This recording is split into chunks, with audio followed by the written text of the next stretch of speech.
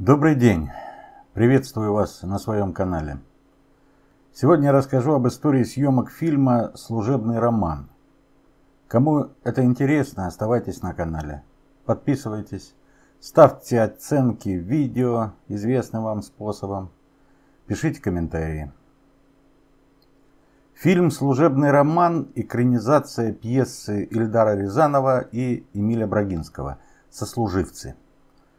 Она была написана в 1971 году и тогда же поставлена сразу в двух театрах – Ленинградском театре комедии и Московском театре имени Маяковского. В ленинградской версии главных героев играли Петр Вельяминов и Ольга Волкова, а на столичной сцене Калугиной и Новосельцевым были Галина Анисимова и Борис Левинсон. В 1973 году вышел двухсерийный фильм-спектакль, который не получил зрительского отклика. И авторы пьесы решили написать сценарий к собственной экранизации. Рабочее название фильма было «Сказка о руководящей Золушке». Ильдар Рязанов очень давно хотел поработать с Алисой Фрейндлих. Пробовал ее на роли в «Гусарской балладе» и «Зигзаге удачи». Но по разным причинам сотрудничество не получилось. В служебный роман Алису Френдлих и других исполнителей главных ролей это Андрея Мягкова, Светлану Немоляеву, Лию Ахиджакову, Олега Басилашвили и Людмилу Иванову утвердили без проб. Режиссер был абсолютно уверен в актерах. А руководство студии было уверено в режиссере и позволило ему работать так, как он считает нужным. Над образами Людмилы Прокофьевны и Анатолия Ефремовича работали всей съемочной группой. Для Калугиной из костюмерной Мосфильма принесли самые бесформенные, вышедшие из моды наряды, гунявые, как она их называла, сама Алиса Френдлих. Оператор принес старые отцовские очки в грубой оправе, и получилась знаменитая мымра Андрея Мягкова которого зритель запомнил как романтика Женю Лукашина. Надо было превратить его в канцелярскую крысу, неказистого такого сотрудника. Помогли опять-таки очки в массивной оправе, за которыми глаза казались больше и растеряннее, ну и накладные усики. Музыку к фильму написал известный советский кинокомпозитор Андрей Петров. Он же придумал мелодию к песне «У природы нет плохой погоды», которую принес Эльдар Рязанов.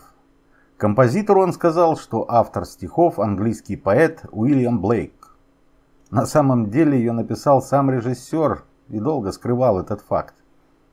Все песни в фильме исполняют Алиса Фрейндлих и Андрей Мягков. Статистическое управление, где работали главные герои, снимали в трех разных местах Москвы. Фасад дома – это Федеральное агентство морского и речного транспорта на Кузнецком мосту. Кабинет Калугина имел выход на крышу дома девятиэтажного дореволюционного небоскреба в Большом Гнезняковском переулке, а кабинеты со всей обстановкой были построены в павильонах Мосфильма. В одном здании безымянным статистическим учреждением работали такие организации, как «Ничего», Мосрыбстрой, главкость, комитет по делам угля, специзолятор при чем-то там таком запутанном. Соответствующие таблички можно было увидеть у дверей здания. В кабинете Людмилы Прокофьевны стоит редкая и дорогая по тем временам вещь – венгерский компьютер. Его ежедневно привозил на съемочную площадку сотрудник Центрального статистического управления – а вечером увозил обратно. Стоил такой компьютер 440, но не рублей, а 440 тысяч рублей. Кто помнит те времена, представляет какая-то фантастическая сумма. В нескольких эпизодах мельком можно было увидеть популярного актера Александра Фатюшина. По сценарию у него была заметная роль – он тоже был сотрудником этого учреждения, а заодно мужем модницы Верочки. И все сп свои споры они вели не по телефону, а прямо в кабинете. Было снято уже много сцен, когда Фатюшин получил травму глаза и не мог больше работать. Его персонаж вырезали из фильма и переселили в телефонную трубку. Но даже разговаривал по телефону с Верочкой уже не Фатюшин, а Олег Басилашвили. Фильм «Служебный роман» занимает 19 место в списке лидеров советского проката, а в 1977 году он был премьера номер один. Его посмотрели свыше 58 миллионов зрителей.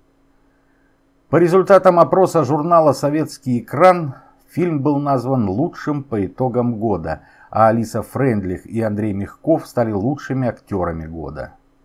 Сценаристы Ильдар Рязанов и Эмиль Брагинский, актеры Лия Хиджакова, Олег Басилашвили и оператор Владимир Нахапцев были удостоены Государственной премии РСФСР. Фильм был популярен и за границей. Особенно его полюбили в Китае.